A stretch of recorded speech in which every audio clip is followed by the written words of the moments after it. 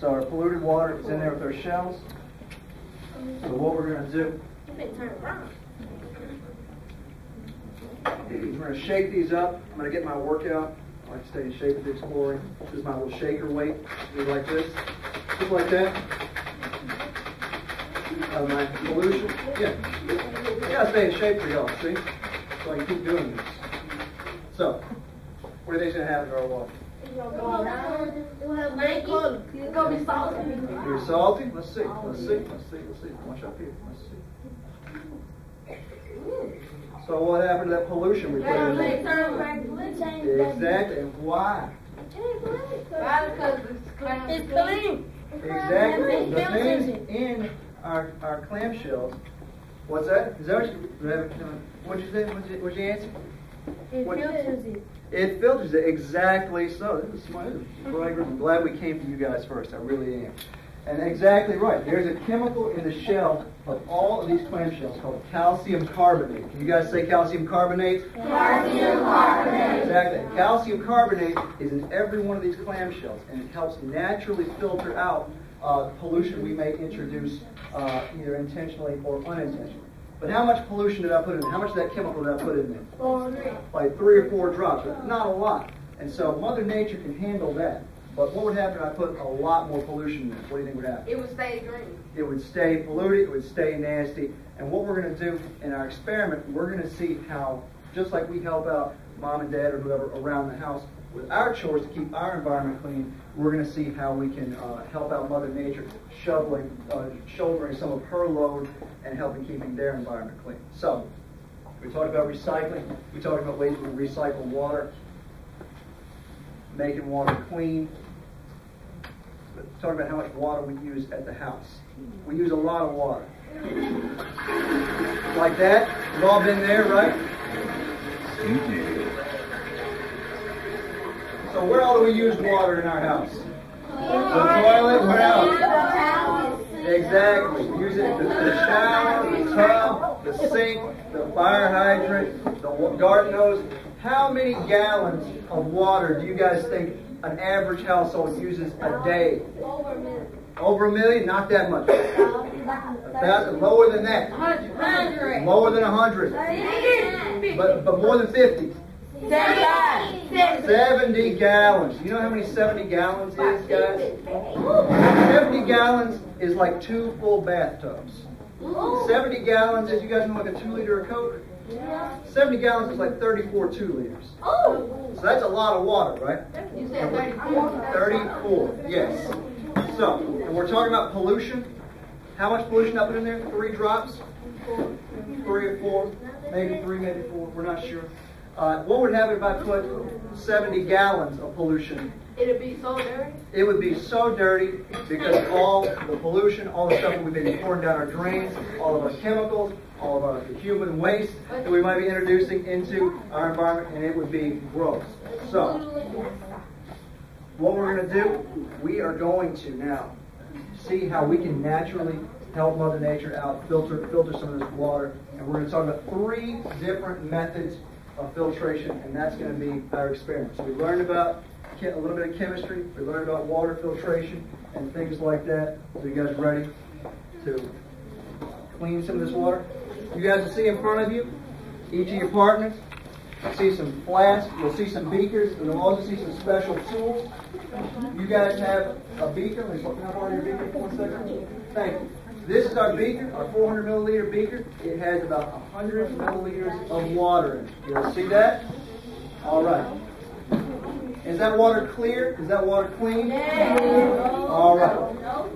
What we're going to do now, in order to clean up this water, we actually have to either accidentally or intentionally pollute our water. So, what we're going to do, you guys, in your partner, you will see that you have. The first thing you grab is a little container of confetti. Does everyone have the container of confetti?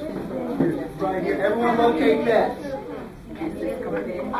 Everyone locate that. Everyone got their confetti.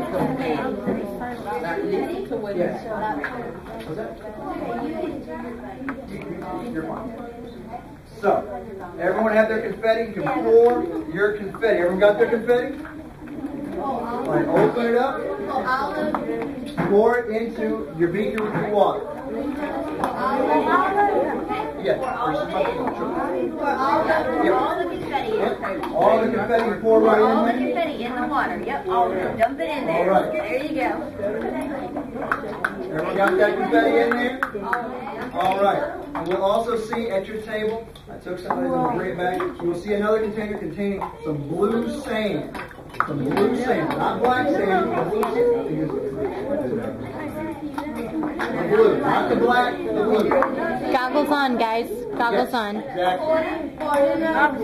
Everyone have their blue sand? Everyone have their blue sand? Everyone have their blue sand and we got it? You can pour that in too. Ma'am, put your goggles on, please. Thank you. After Shaheen and Melissa are going to come around and they're going to put a few drops of some nasty black ink into your water. How many? And that's going to be our pollution. So we put, what what we put in there? We put our confetti, we put our sand, we put our ink. And you guys can stir it up when your ink is in there. With your spoon. And what does it look like? None of y'all got this. All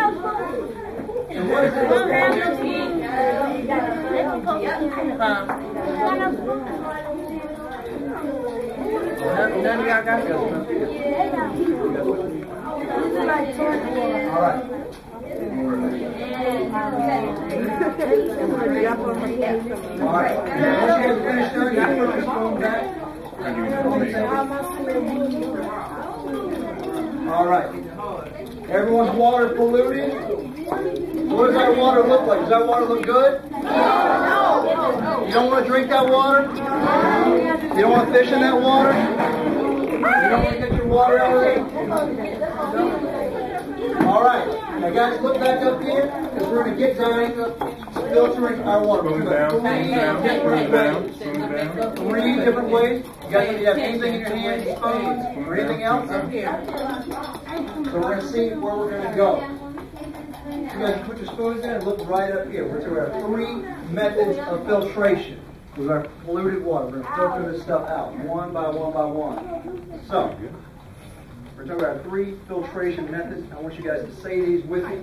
We have sieving. We're going to do that first. Sieving. Then we also have number two.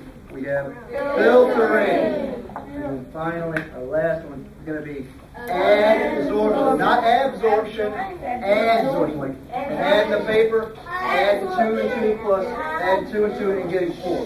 So, sieving. Who has ever heard of sieving before? Anybody? Besides Melissa, she doesn't count. Or Shahimi doesn't count either. Anyone heard of sieving? Nobody? What about this? Look right up here. Has anybody seen this in the movies before? Someone panning for gold? And what are they doing when they're panning for gold? They're looking for gold. How are they doing? They have a pan just like this. And what do you guys notice about this pan? It's got holes in it, exactly right. What else, what else does it have? It looks like has a screen on it, and that's so the larger particles can get through, the water can get through, but so our gold miners can connect, uh, collect little bits of gold dust. So, many of you guys ever seen one of these before? Now, what do you do with this? Mom, dad, who's making spaghetti or pasta? Pour the spaghetti and pasta. What gets through? Water. And what stays in here? The pasta, the noodles, there, this, and our gold uh, panning are all forms of sieving. So at your table, you guys have some special tools, and what we're going to see, which one of these looks most like a sieve? A what? A sieve. A sieve, what we were just discussing. Exactly, our tea strainer. And that's going to be our first filtration method. We're going to sieve some of this pollution off. Thank you. What we're going to do not polluting. Not doing anything yet. We are going to set your tea strainer in your empty beaker, just like so. And then you. So one of you guys will hold the tea strainer over the empty beaker, just like so. while your partner Holes. pours your polluted water through the other beaker. Go right ahead.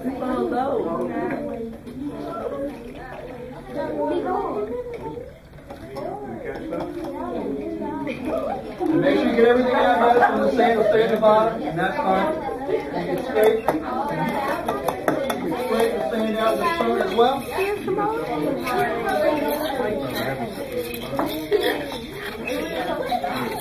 You have to get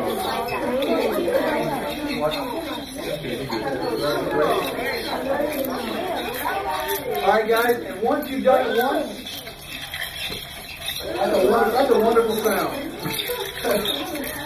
what we're going to do now guys, I think you got enough sand out, I'm going to get all of it out, just enough.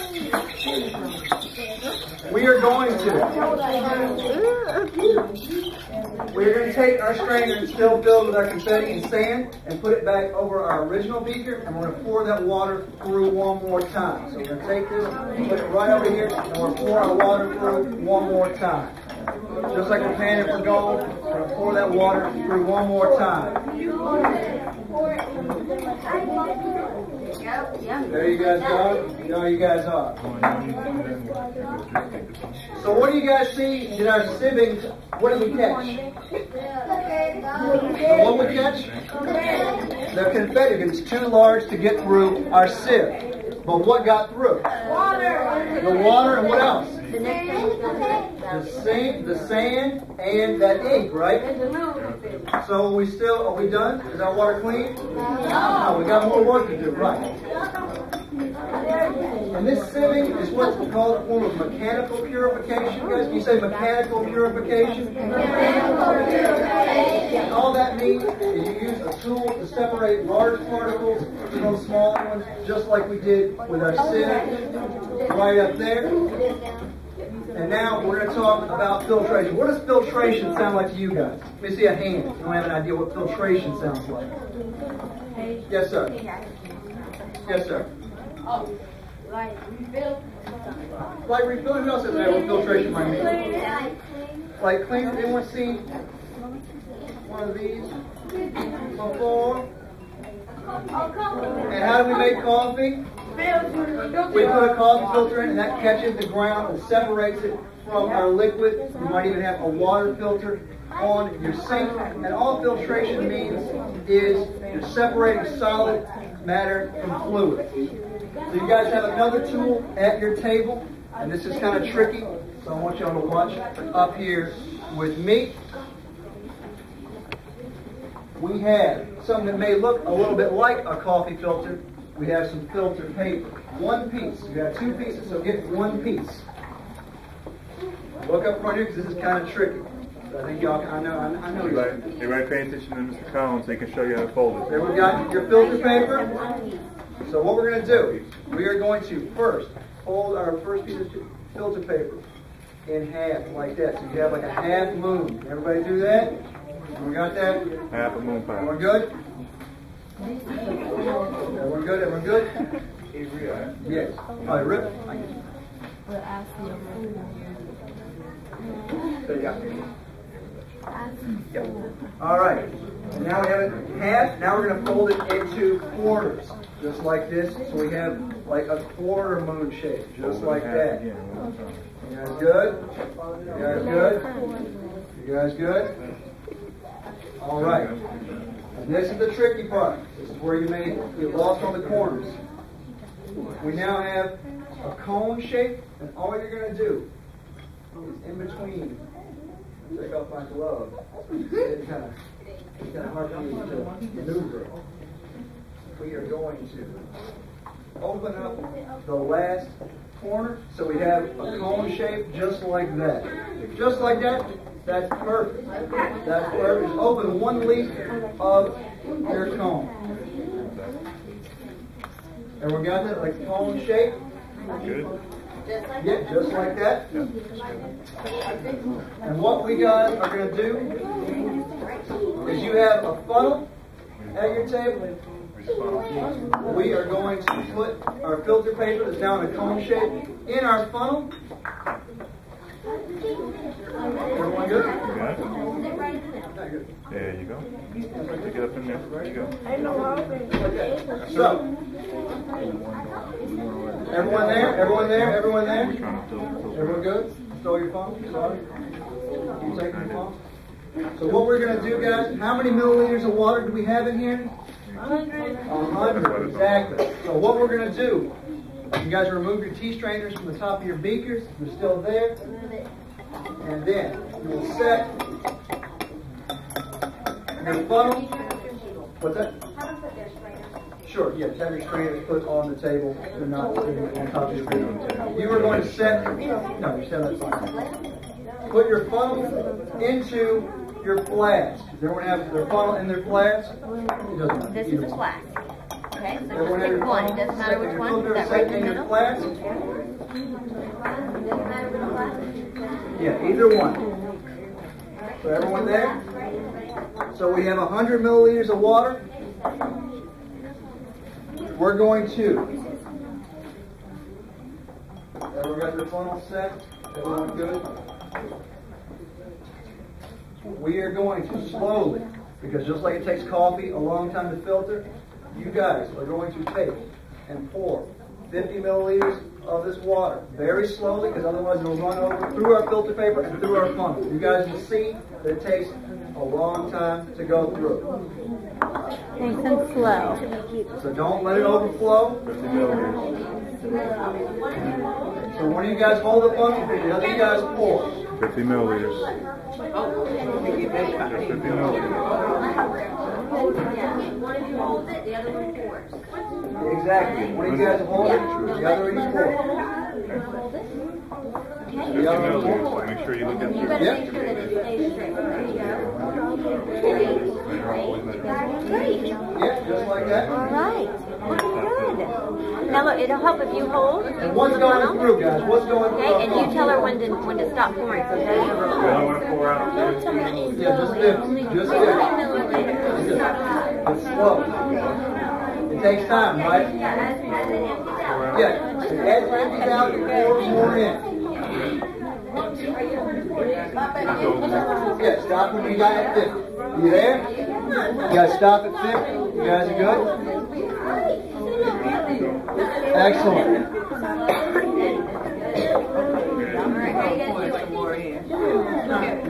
Go ahead